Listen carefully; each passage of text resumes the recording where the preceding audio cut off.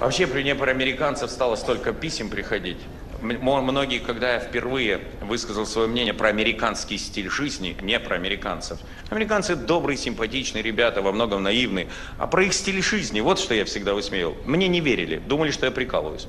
Теперь столько писем, что я решил делиться впечатлениями уже не моими, а тех, кто мне пишет. Например, парень работает на Аляске из Питера, знает хорошо английский язык, работает гидом. Американцы приезжают к нему, первый вопрос, когда включают северное сияние. Из турбюро прислали письмо. Заказали в Нью-Йорке номер в гостинице. Просят прислать подтверждение. Из Нью-Йорка спрашивает женский голос. Куда? Дают адрес. Москва, почтовый адрес. Она все записала, спрашивает, а какая страна? Диалог президента США с супругой. Супруга, дорогой, тебе в ухо кто-то засунул жвачку. Буш вынимает из уха белый комочек. Это не жвачка, дорогая, это мозг.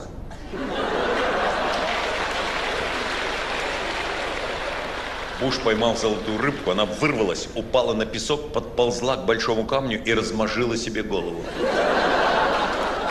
А я что хоть про него могу говорить, меня все равно визы лишили. Есть у меня тут один вам подарочек. Знаете, я как-то давно при советской власти часто говорил, что я одного не понимаю, второго, третьего. Прошло немало лет, другая страна, власть. Все равно то одного не пойму, то другого. Причем, знаете, не только в политике, в нашей обыденной жизни. Ну, не понимаю, почему у нас в России всегда две беды. Причем одна беда вечно ремонтирует другую. Много-много не понимаю. Я не понимаю, почему только у российских светофоров конец желтого, начало красного считается зеленым.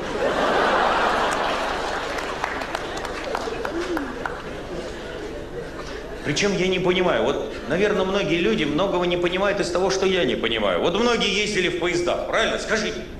Я не понимаю, почему у нас на перронах перед отправкой поезда продают инструменты. Такие бомжеватые мужики ходят с коробками, открывают там гаечные ключи, отвертки. Это что, в наш поезд без отвертки не садись, что ли? Ко мне подошел один, подмигивает, говорит, купи, цены ниже ворованных. Я много езжу по России, вот, но я совсем понять не могу. Скажите, откуда столько мягких игрушек по всей стране? На всех станциях продают этих бегемотов плюшевых в рост человека, жирафы выше вагона. Причем продавцы такие наглые, в окошко суют и куда Да, это вы смеетесь, а я спать лег, штору не закрыл. Ночью остановка, просыпаюсь, а у меня тени бегемота в этом. Я думал, глюки начались. Много чего не понимаю. Я не понимаю сегодняшних выражений. Ну, правда, вот скажите, что означает выражение «незаконный бандформирование»? Это где-то есть, значит, законные бандформирования. Я тогда даже знаю где. А незаконная торговля наркотиками, это, это что, надо только законно ими торговать, получается?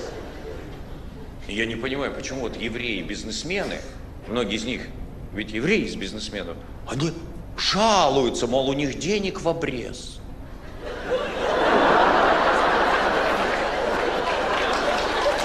Я понимаю так, если у еврея денег в обрез, достаточно, вы знаете, вполне достаточно. Я вообще не понимаю, откуда люди набрались столько модных слов. Все теперь такие умные стали, все знают, что такое аура, карма, чакра, да. Спрашиваешь, у тебя насморк?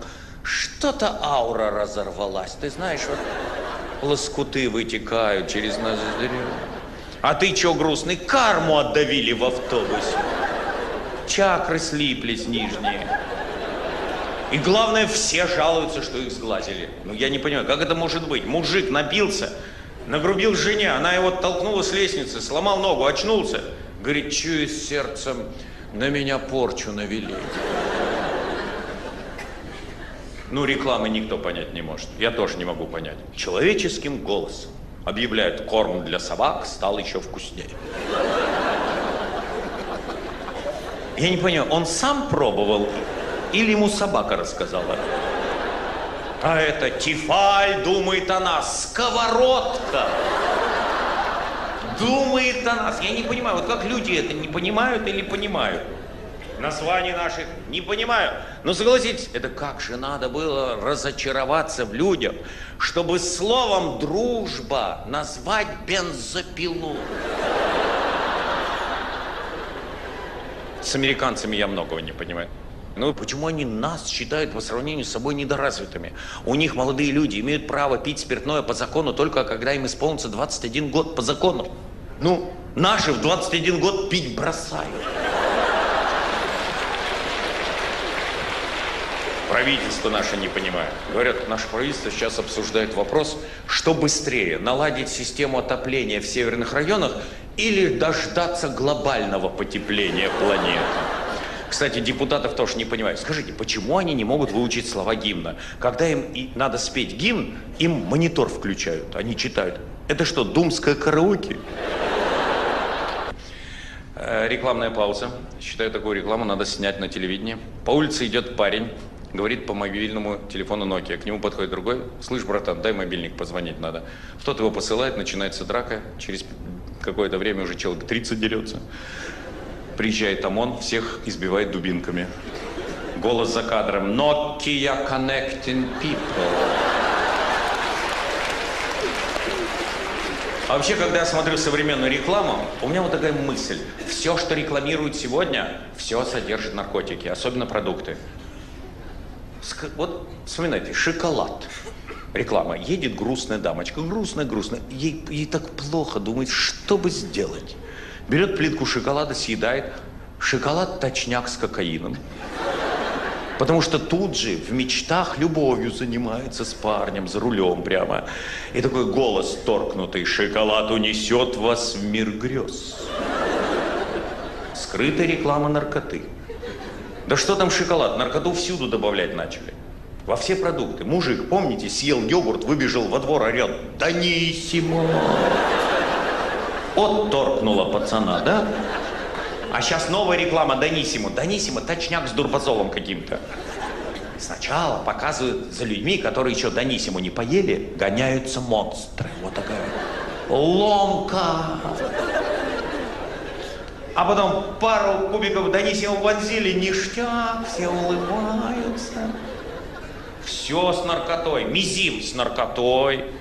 У бабуси без мизима конкретная ломота. Мизим вонзила и в пляс. Конфетки, бараночки.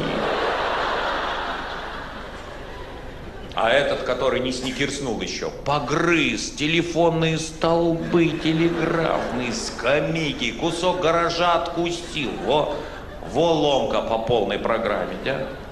А это реклама Рич. Жизнь хороша, как ни крути. О, как ни крути. Скрытая реклама косячков.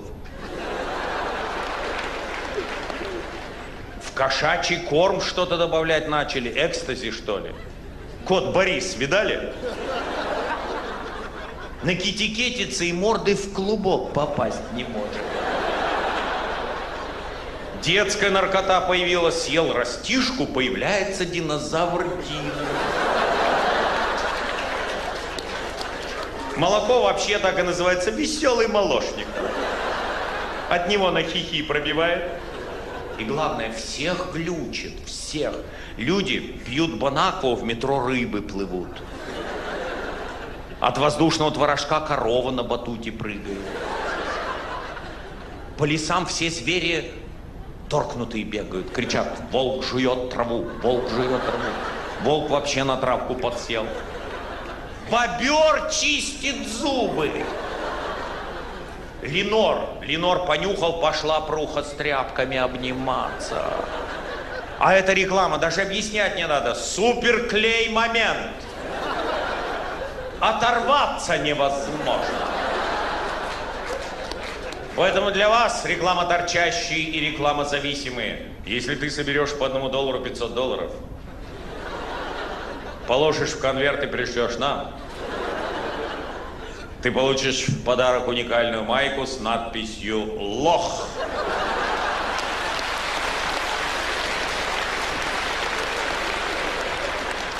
Спасибо, все, будьте богатыми. В исконно нашем смысле этого слова.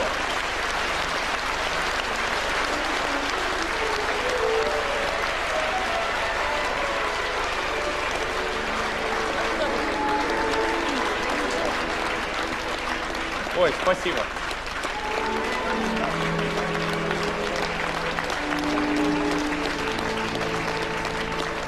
Спасибо. Всего доброго.